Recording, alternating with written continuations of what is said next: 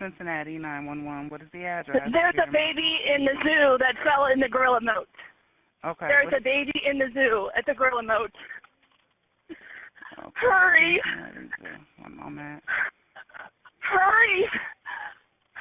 The gorillas are out! At 3:52 p.m. on May 28, 2016, a 911 call was made about a young boy falling into the gorilla exhibit at the Cincinnati Zoo. The boy was 3-year-old Isaiah Dickerson. His mother, Michelle Gregg, became distracted by his three other siblings, and he managed to slip away from her, sneak through the 3-foot-high cable fence, push through 4 foot of bushes, and then fall 15 feet into the moat surrounding the gorilla exhibit. When Michelle realized that it was her son who fell in, she too climbed over the fence and stood at the edge that he fell off of. She called out to him, instructing him to be calm. Other members of the public also climbed over the fence to keep an eye on Isaiah, one of them recording what was happening. All of the people at that enclosure quickly became aware of what happened, but the three gorillas inside the enclosure were completely oblivious to what happened at first. The gorillas inside that enclosure were two 20 year old sisters, Chewy and Mara, and there was also a 17 year old, 450 pound silverback called Harambe. After two minutes of Isaiah splashing around in the moat and the public causing a commotion, the gorillas finally became aware that Isaiah was in there with them at 3:54 p.m. Also taking notice of the commotion were the zookeepers, so they signaled to the gorillas to enter their holding pens, which is something that they did on a daily basis. Chewy and Mara obeyed the command, but Harambe didn't. He climbed down the ladder into the moat to get a closer look at Isaiah. Harambe first stood over Isaiah in a corner of the moat. Then he suddenly dragged Isaiah through the water. Oh my god! But things did seem to calm down a little bit when Harambe stood him up and seemed to analyze his clothing a little bit.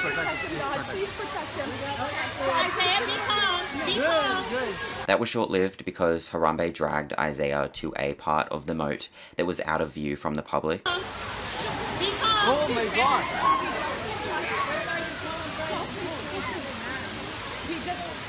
Oh my god, is it, are they coming? Are they coming?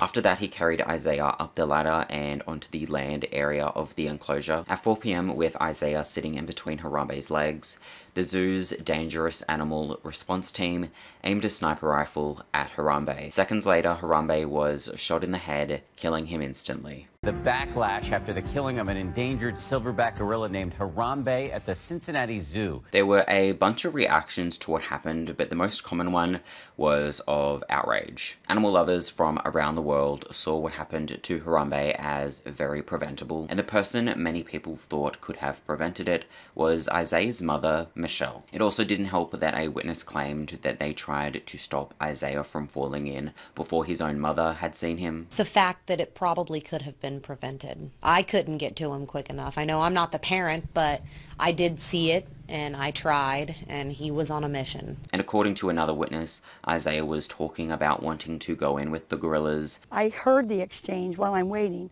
The little boy, I'm going to go in. No, you're not. I'm going to go in. No, you're not.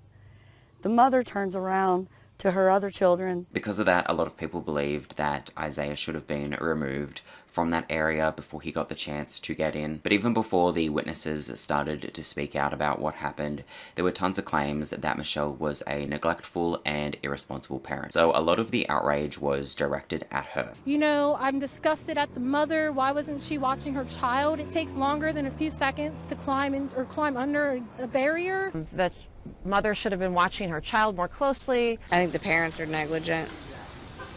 So, if anything, I think it would be there. A petition was even made to have her prosecuted. It was to encourage the Cincinnati Zoo, Child Protection Services, and the Cincinnati Police to hold the mother responsible. And that got over 500,000 signatures. The day after the incident, Michelle made a Facebook post about what happened. She said that Isaiah got a few scrapes and a concussion, and also said that accidents happen. She had also been receiving a tsunami of hate online. The place where she worked was even getting hate messages. We were able to get some kind of insight as to what kind of messages she was receiving, not because she told us, but because a different Michelle Gregg became the target inadvertently. The wrong Michelle Gregg was screenshotting the abusive messages she was getting and then posting them onto social media. A lot of the messages were very rude. Um, they were saying that I should have been the one to die and the gorilla should have lived. She was being called a bad mum, and she was just in general being insulted. So while that was all going on, the Cincinnati police were investigating what happened that day. They interviewed four witnesses, and Jobs and Family Services were sent to visit Michelle's house. The investigation concluded on the 2nd of June, and then the prosecutor announced the outcome of their review on the 7th of June. And the outcome was that no charges would be filed against the mother. We have concluded that no charges will be filed against the mother of the three-year-old who fell on May 28th into the gorilla encampment. Had she been in the bathroom smoking crack and let her kids run around the zoo, that'd be a different story. But that's not what was happening here. She was being attentive to her children by all witness accounts, and the three-year-old just scampered off. And Michelle wasn't the only one to receive backlash. The zoo also came under fire for a couple of reasons. The biggest reason was that Harambe was killed. When he was shot, one of the first questions that came up was, why couldn't he have been tranquilized? So gorilla and animal experts from around the world weighed in on if that was a viable option or not. Some believed it was a possibility because while Harambe may have seemed aggressive, his behavior wasn't technically aggressive in gorilla terms. The gorilla's behavior was textbook protective behavior for a gorilla. They run around with their kids like that in the wild. The kids know to jump on the back. Any gorilla expert should know that gorilla was not acting violently towards that child. It just was being a gorilla. And unfortunately, it paid the ultimate price for something that was not its fault. What do you make of that situation? You know, truthfully, it looked to me like he was kind of going into gorilla protective mode, or at least gorilla very puzzled mode. Isaiah's grandmother even said that the zoo could have taken a different route, and previous instances where children had fallen into gorilla enclosures were also brought up. Despite gorillas being depicted as violent beasts in movies, whenever they have come face to face with a child in their enclosure, they have always been nurturing and caring. In those cases, the children were able to be retrieved without killing the gorillas, so a lot of people believed that Harambe was just a misunderstood, gentle giant. But there was also a whole other group of professionals that saw Harambe as everything but gentle. Did you see how he jerked him? When the minute I saw that video, when he got jerked like that, I said, oh God, I don't want to see the rest of this. I know what would happen. It's very sad, but you know, he could have killed the child easy. Yeah, that's Not true. meaning to. Yeah. Yeah. was he trying to protect the child? In your eyes, as someone who does study gorillas? In, in my eyes, he was uh, acting erratically. Erratically, he was uh, disoriented, and uh, that also led the decision, of course, uh, not to dart the animal. If you were to, say, dart your household pet, if you were to receive a dart yourself, there'd be a pretty dramatic response. And if you were an animal like a gorilla and didn't understand it, you could have some sort of displaced aggression that would go right at what's the new thing in your areas. So while he may have actually just been a gentle giant, he physically wasn't being all that gentle, which could have resulted in the boy accidentally getting injured. And at the end of the day, the zoo would always put a human life over an animal life. That wasn't the only point of contention with the zoo. That was the first security breach at the Gorilla World exhibit since it opened in 1978. So a lot of people were wondering how the child was able to get into the enclosure to begin with. I'm not sure why the enclosure involved something that a child could climb over with not another thing the child could not climb over, but yeah. Everyone's blaming the mom. Are you kidding me? No. You should not be able the to right get into a gorilla I if it's a zoo. So the organization Stop Animal Exploitation now filed a negligence complaint against the zoo. They brought up how this wasn't the first time that an animal enclosure hadn't been secure enough. In March 2016, a polar bear escaped into an area where only zookeepers were meant to go. So because of that and what happened to Harambe, they were seeking the maximum penalty of a 10,000 US dollar fine. It is clear that the Cincinnati Zoo, by not having sufficient enclosures which allowed this child to enter the gorilla enclosure, has violated the Animal Welfare Act. Ultimately, the zoo wasn't fined, but they were issued a critical citation. After an inspection from the US Department of Agriculture, it was determined that the barrier was not in compliance with the standards needed for housing primates. But the thing about that is that the fence wasn't new. It was there 30 years prior to Harambe getting killed. And during those 30 years, the zoo had undergone many inspections from the USDA and the Association of Zoos and Aquariums, also known as AZA. And during those inspections, the fence was never once cited. And there's actually a reason for that. Pretty much the federal standards around barriers on primate exhibits are very, very simple. They just have to keep the animals and the humans apart for the animal safety as well as the humans safety. There's no specific height that the barrier needs to be, there's no specific materials, and there's no other guidelines. It just has to keep them apart and everybody safe. And that's what the fence had been doing for decades. So the reason why the USDA determined the fence wasn't in compliance was because it failed. It was no longer adequate because it didn't keep them apart. So essentially zoos don't know if their fences are compliant until an incident happens. And then after that came out, the family of Isaiah released a statement. They said the findings didn't change anything for them and that they thank the zoo staff for their quick actions and they mourn the loss of Harambe with them. After the incident, the gorilla exhibit was closed for 10 days. And during that time, the zoo installed a new barrier. It is 42 inches high with wooden beams on the top and the bottom, as well as knotted rope netting. And while that was being constructed, a group of animal rights activists gathered outside of the zoo to hold a vigil for Harambe. The man who helped raise Harambe at the Gladys Porter Zoo in Texas also spoke about what happened. I worked with this gorilla family. I didn't think it was going to be this rough so early. I raised Harambe from the day he was born. And I raised two sons and he was no different than they were. So this incident left members of the public traumatized, a mother at the receiving end of masses of online hate, and zookeepers had to see an animal that they loved be killed. So I just went over how all of that happened, but I think a much more important story is how Harambe came to be at the Cincinnati Zoo to begin with. But what is the market for gorillas and chimpanzees and other apes? Uh, the market is limited, but there is quite a large demand among the zoos. The craze for zoos to have gorillas began in the late 1800s in Europe. The interest eventually spread to the United States and then to Australia. And the man who was able to supply the demand for gorillas was known as gorilla hunter Deets Pickett. He was a Kansas City veterinarian who would catch gorillas in the African jungle and then sell them to zoos internationally in the mid 1900s. Nowadays, threats to gorillas in the wild are habitat loss, poaching, and disease, but one of the biggest threats to them decades ago was hunting them for zoos. Often entire families of gorillas would be killed so that the hunters could separate the babies from the mothers and then take the babies to sell. When they were securely tied, and we felt sorry for them. They looked so pitiful. They did not realize it then, but they were just beginning a trip which took them halfway around the world.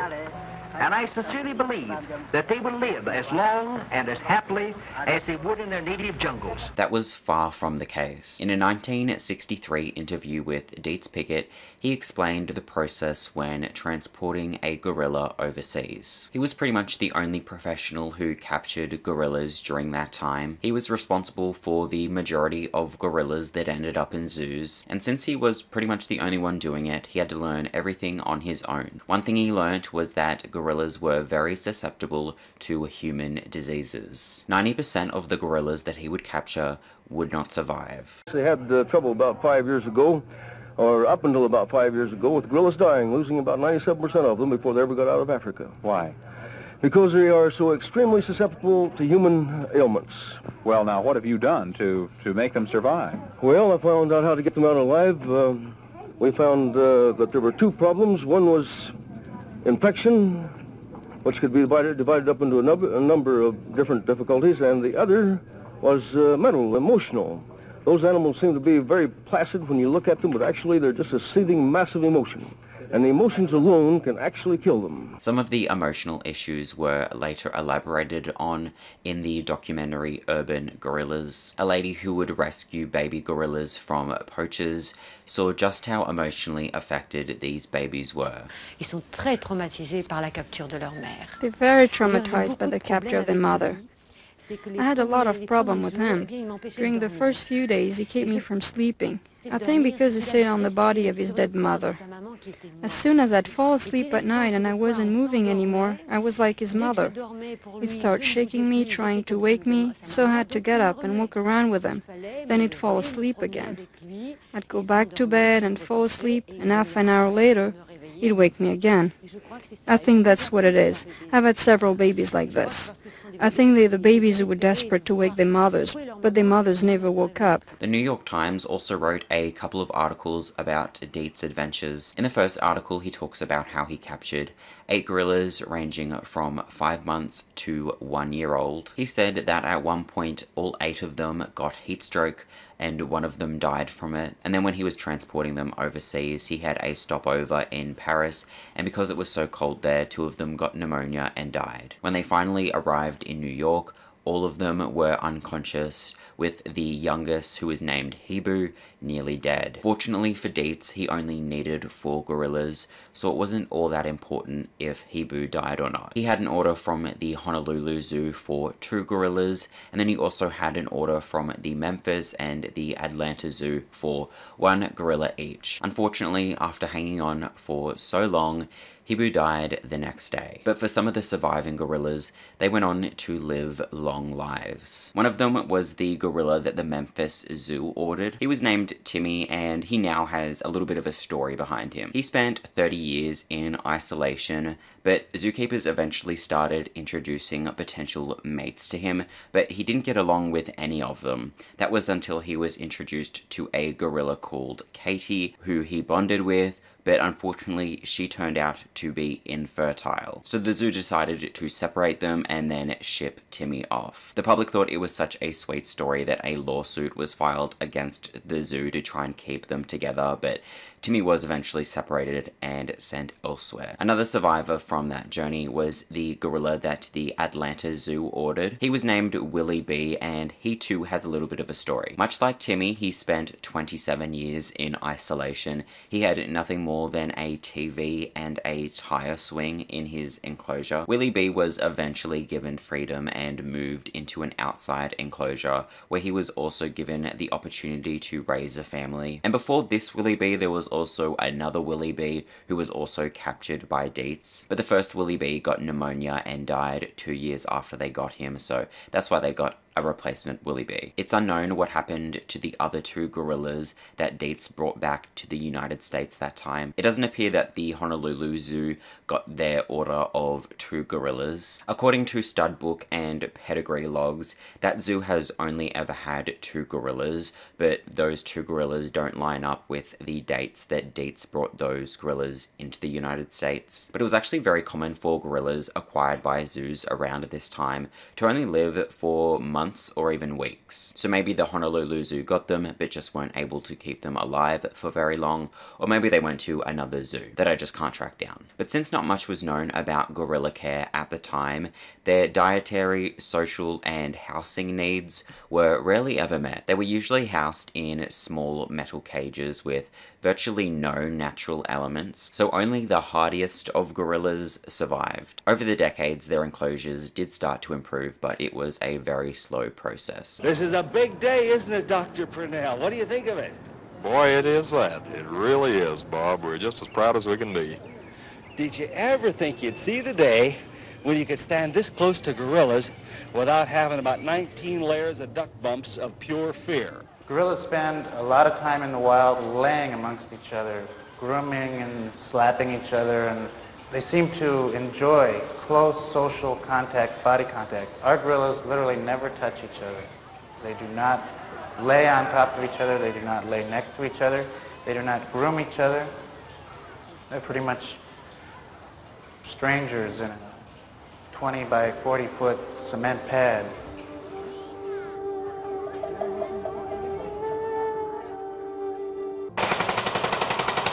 In the summer of 1989, demolition began.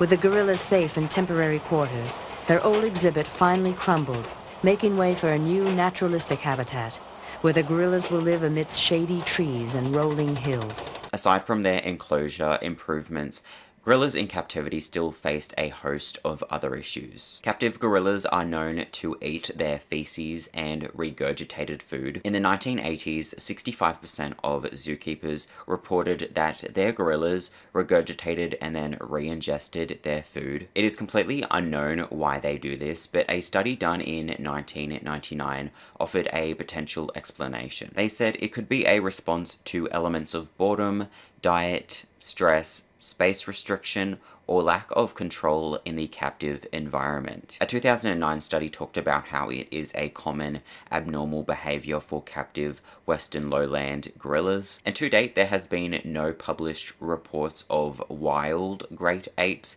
engaging in that behavior. Research has also been done on how captive gorillas react to when there is lots of people visiting the zoo that they're at compared to when there is not many people at the zoo. A study done in 2005 found that on summer weekends when the zoo would get on average 1,300 visitors, the gorillas would be more likely to groom themselves, they would be more aggressive to each other, and they would be more likely to clench their teeth and repetitively rock back and forth. That's one of the things that really hits home. It's what an injustice we're doing to them. They sit in their concrete little cubbyhole with 10, 20, 30, 40, 50, uh, maybe 100 or 200 people literally 20 or 30 feet away yelling for them to do something. There's nothing that they can do. We do put food out for them, but they really consume that food in a very short period of time. And once they've done that, they're really is nothing left but for them to sit in a, in a very sterile, boring environment pressed right up against the public.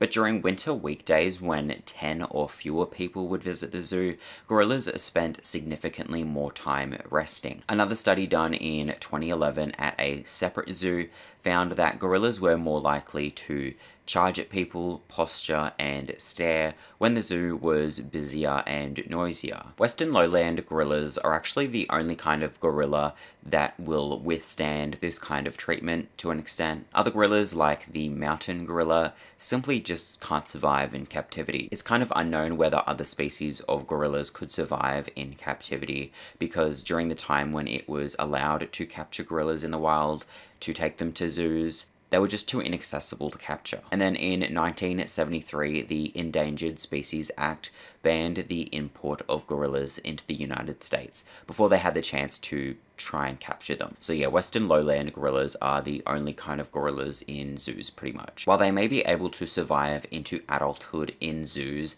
and sometimes even live longer than they would in the wild, heart disease kills 41% of captive gorillas in North America and 70% of captive male gorillas currently have heart disease and no one has been able to determine why that's the case. It's been theorized that it's the result of the greater body fat found in captive gorillas who have a lot less space to exercise. Or it could have something to do with the fact that their diet lacks an African plant called grains of paradise, which makes up 80 to 90% of their diet in the wild. Harambe's father, Moja, suddenly collapsed in his enclosure, and it was determined that the cause of his death was heart disease. So yeah, it hasn't been uncommon that male gorillas are subjected to a lifetime of loneliness loneliness, where the odds of getting heart disease are very much in their favor. Female gorillas don't have it easy either. They have been treated like breeding machines. And that is how Harambe came to exist.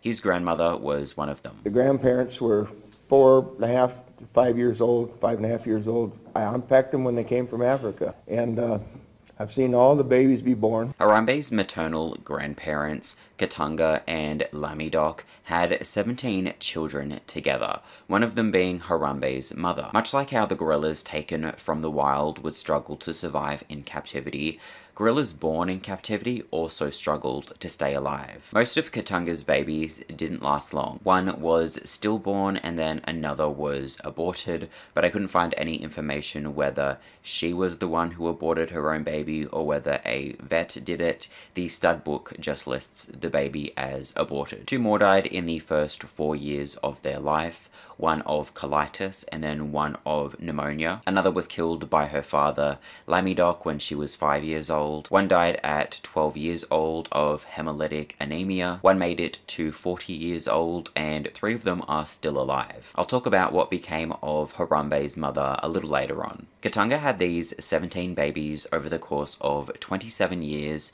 between 1972 and 1999. In the wild, gorillas typically only give birth every 4 to 6 years, so had she still been in the wild, she only would have had 5 or 6 babies. You may be thinking that Katunga was able to produce offspring so frequently because a number of her children died, which would mean she would become fertile sooner. But each year from 1978 to 1981, she gave birth every year, and each of those babies survived and lived past four years old. But even though her babies survived, she wasn't the one looking after them. Her babies were taken away from her immediately after birth. She didn't breastfeed them and she didn't look after them, meaning she immediately got fertile again after she gave birth to them. So yeah, her babies would be taken and hand raised. Nowadays, hand rearing is only done if it is absolutely necessary. But for many decades, most zoos had a policy to automatically take the babies away from high profile primates, especially the great apes. Usually it was done to ensure the survival of the baby, but it was found in a 2006 study that a decreased birth interval in gorillas was seen as an added benefit to hand rearing, and zoos often had designated areas where the public could observe the babies that they took away from the mothers. Jerry Stones, the man who helped raise all of Katunga's children and some of her grandchildren, including Harambe, housed all of the babies in what they called the Children's Zoo. And some of the other keepers here took them home at night too. We took turns because it gets to be a little tiring. And and we'd bring him back in the morning. He'd spend the days in our children's zoo in the nursery window, and, and then he'd go home again with us at night. This is our children's zoo, and among other things, we have our uh, baby primates housed in this area. Here you can see one of our young orangutans being uh, fed. It's noonday. That's a cute little baby, isn't it? And while they wanted to get more and more babies for breeding purposes and to show off in their exhibit, it was absolutely necessary to take them away from their mothers. The mothers just did not know how to look after a baby. For gorillas, caring for a baby is learned. It is not instinctual. Why do you have the babies in the nursery? Why not leave them with the mothers? Well, we'd like to, but unfortunately, in many cases, uh, for the larger primates, the technique for taking care of a baby is not an instinctive one, it's learned. Mm -hmm. And most of the primates that are in captivity were caught by uh, having the adult shot and the baby stolen and taken and, and sold into captivity. So in that situation, the babies didn't ever get a chance to learn how to take care of babies mm-hmm. as they grew up. So since Katunga was taken from the wild before she had the chance to learn how to be a mother, she wasn't able to be a mother herself. She could give birth, but she didn't know what to do after that. And because all of her children were hand-raised by zookeepers, none of them knew how to be mothers either. And that is how Harambe came to be hand-raised by Jerry Stones as well. His mother, Kayla, did not know how to look after him. There were some exceptions, and some gorillas were able to work out how to look after their babies on their own, but for the vast, vast majority of them that were hand-raised or taken from the wild, they just did not know how to look after their babies. Gorillas actually have a pretty complex language. They have 13 to 20 different vocalizations and inflections, and many facial expressions and body postures. There are also dynamic rules of etiquette in gorilla societies, and they must start learning these skills and life lessons from day one, just like humans. But because they were taken from the wild and hand-reared, many gorillas missed out on learning all of that sort of stuff. And that had effects on their personality development and their ability to mix with other gorillas later on in life. An example of that was when a young female gorilla was shipped to the LA Zoo to breed but she simply did not know how to act around a silverback gorilla because she had been hand reared. So that silverback did not react well to how she was acting around him. The newcomer's inexperience in the world of adult gorillas becomes immediately apparent.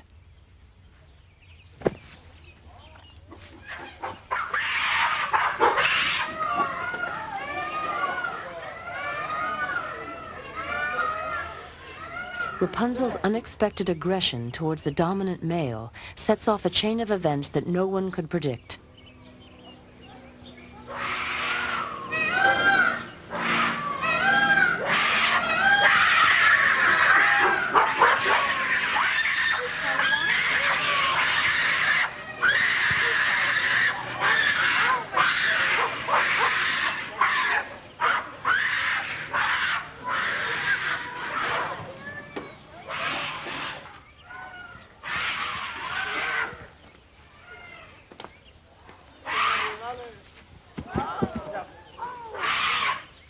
Miraculously, Rapunzel emerges unharmed. Fortunately, they've now worked out ways to be able to leave the baby with the mother and still keep it alive so it can learn all of the important things it needs to learn. No one knows this. That girl was raised here at the Columbus Zoo and was on a breeding loan up there. It was raised by people here at the Columbus Zoo. I don't mean the people, set with the people. I'm talking from birth until we put it back with the adults. Why is that? Because the mothers here weren't feeding. A lot of gorillas throughout our country were having issues. Now today we don't do that. We do it if gorilla's injured at birth or something. We have to. But now we've learned ways that we, that we can keep those babies in there when we think she might not be nursing. We now have a much better situation with the gorillas. And if they absolutely need to hand rear a gorilla, the zookeeper will wear a furry vest and carry the baby how its mother would have been carrying it. So things have come a long way. But an issue that is still present to this day from treating gorillas like they're breeding machines is that there is a surplus of gorillas in captivity. And there actually has been for a while now. You may have heard of Ivan the gorilla. He's had books written about him, documentaries, countless news stories, and a Disney movie based on his life. He was a gorilla who lived as an attraction in a shopping mall. He was kept in a concrete cage without any other gorillas for 27 years. For 15 years of that time, the owners of him were actually trying to get him a better life. They were trying to get him adopted or to bring a female to come live with him. But since zoos already had too many male gorillas as it was,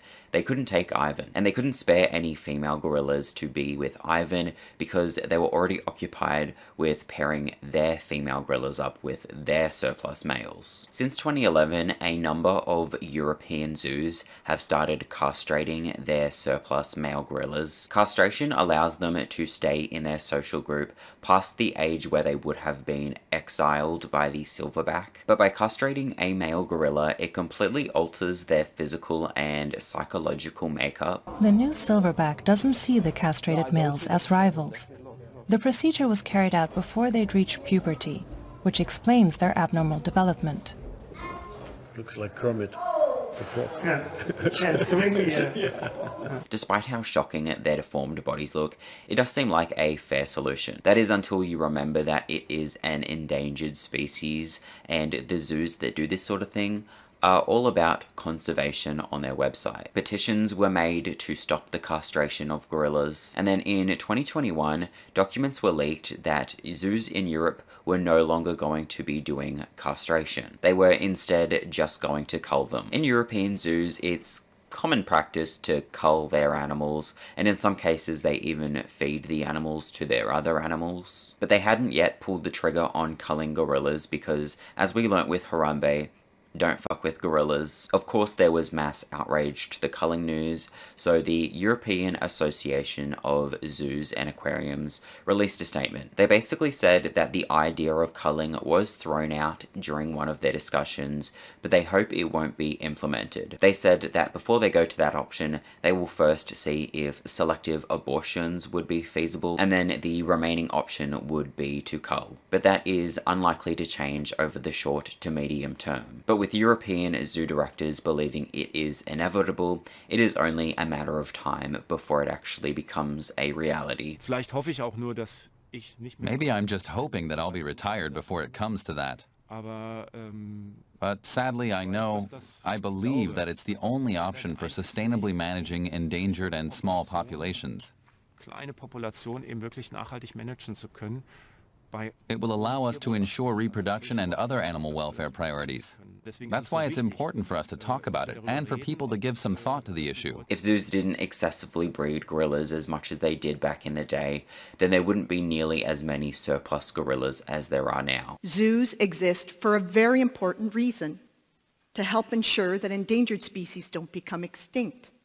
While gorillas were being castrated and there were talks of culling, a question that was thrown around a lot was why couldn't they be introduced to the wild? Because some zoos have played an important role in introducing some extinct species back into the wild. Sometimes zoos have gotten lucky and they have just so happened to have an animal at a zoo when they have gone extinct in the wild, like the Przewalski horse. They went extinct in the 60s and ever since the 90s, zoos have been reintroducing these horses back into the wild and they now have a wild population of around 300. And sometimes zoos have sought out a particular animal to ensure that they have a captive population at the time that they inevitably go extinct, like with the Hawaiian crow. None of the attempts to reintroduce the Hawaiian crow have been successful, but they are trying, so why can't similar attempts be done with gorillas? For one, it is a very difficult thing to do. For a lot of species, especially the bigger, more cognitively complex species, putting them back out into the wild is incredibly difficult. The key to knowing which ones can actually be released is a concept called cognitive complexity.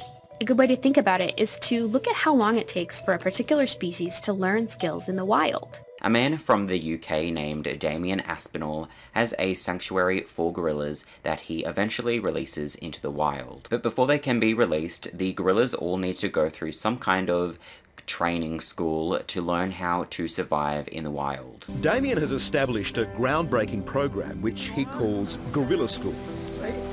The mission?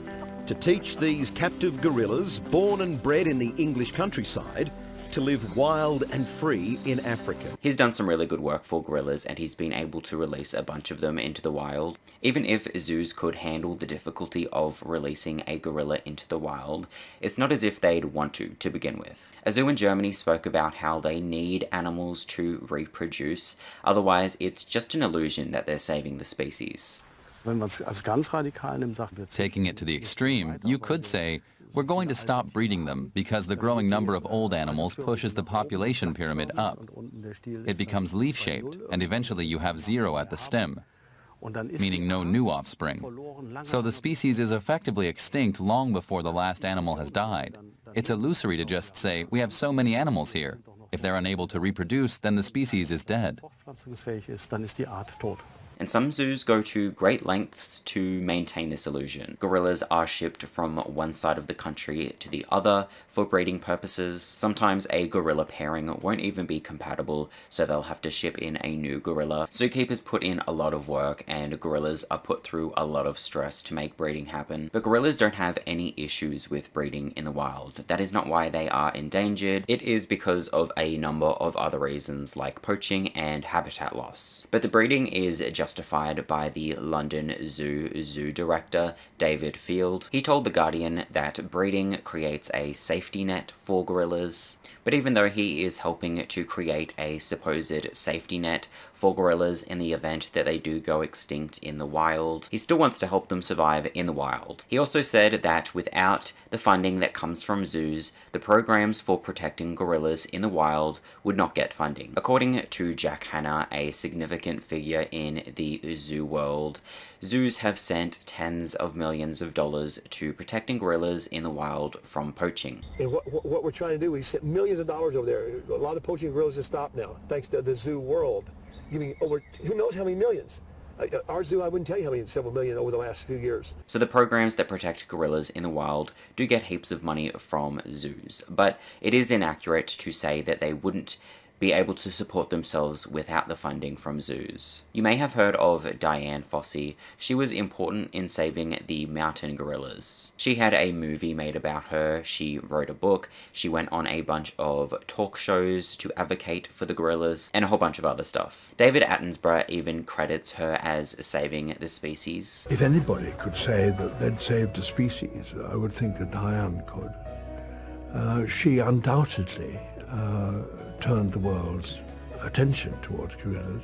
And she didn't save the species by showing them off in a zoo. The Dian Fossey Gorilla Fund was established, and 42% of donations, which is the majority, come from individuals, not zoos. And one of the biggest contributors to the Dian Fund is actually Ellen DeGeneres. She actually funded an entire campus for them, and even for organizations like the World Wildlife Fund, their biggest contributors are from individuals. And it is highly unlikely that those individuals decided to donate to these causes because of what they saw in zoos. In 2008, a group of researchers interviewed 206 zoo visitors on why they visited the zoo. 66% of them said to have an outing with friends or family, 12% said to learn about animals, and 11% said to be entertained. Those researchers also visited three zoos where they eavesdropped on people's conversations at 24 different animal enclosures. 6,000 comments were recorded and 70% of them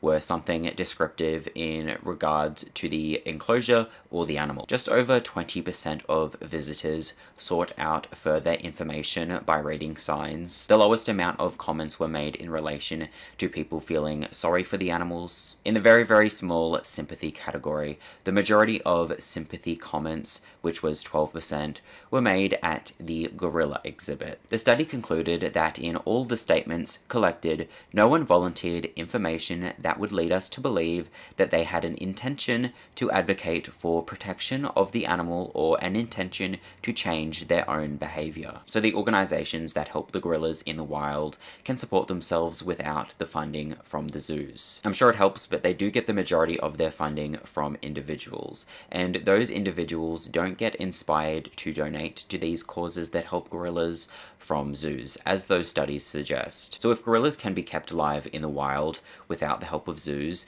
then what is the point of keeping them captive? Gorillas are still in zoos for the same reason they were when they were kept in small metal cages, to be an exotic attraction. He was not mean. He was a gentle little guy. He grew up to be a beautiful, beautiful animal, but he was never aggressive. He was never mean.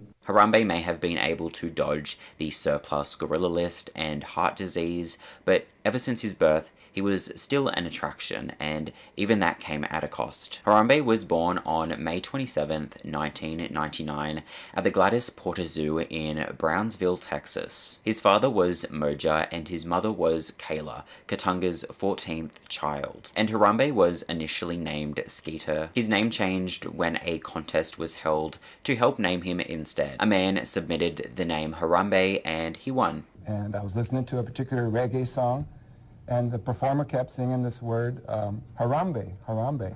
And halfway through the song, she explained what it was, and it means to uh, pull together, to help each other, sharing and caring, and come together. Wow, so th- hence the name.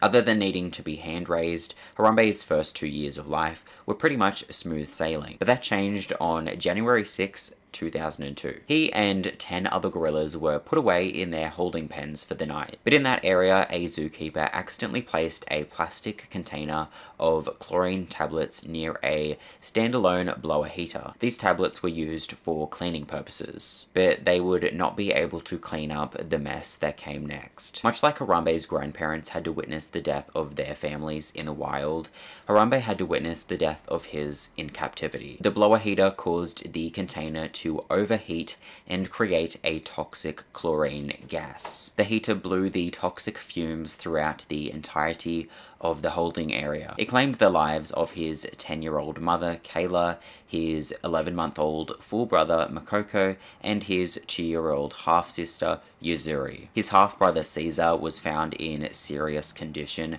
so he was sedated and placed on a ventilator, but despite their efforts to save him, he wasn't able to fully recover from the poisoning and died six months later. The next shakeup in his life would come in 2014 when he was transferred to the Cincinnati Zoo. This was done so he could join a new social group and learn adult gorilla behavior. That happened on September 18th, 2014. For seven months, he was held in the behind-the-scenes area of the zoo. During that time, his soon-to-be gorilla companions, Chewy and Mara, were being held in the adjacent holding pen, where they could see each other. He was then officially introduced to them in the enclosure on April 28, 2015. And then the day after his birthday in 2016, the incident with Isaiah falling into his enclosure took place. Nowadays, his legacy lives on through what happened to him that day, but also a bunch of other stuff. Elon Musk made a rap song about Harambe.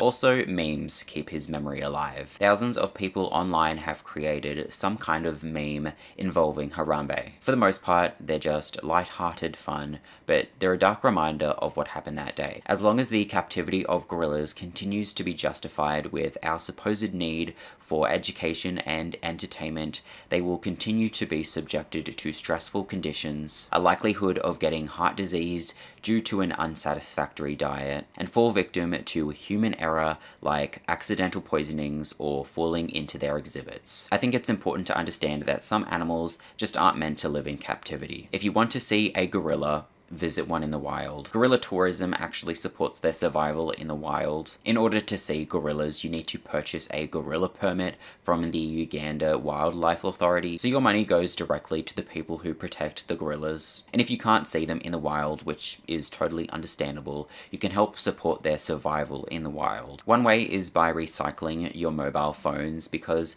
there are minerals in your mobile phones that are being mined in Africa that is destroying the gorilla's habitat Another way is by donating. So yeah, thank you so much if you made it this far. I know this isn't my normal kind of content, and thank you so much for watching. I hope to see you in my next video.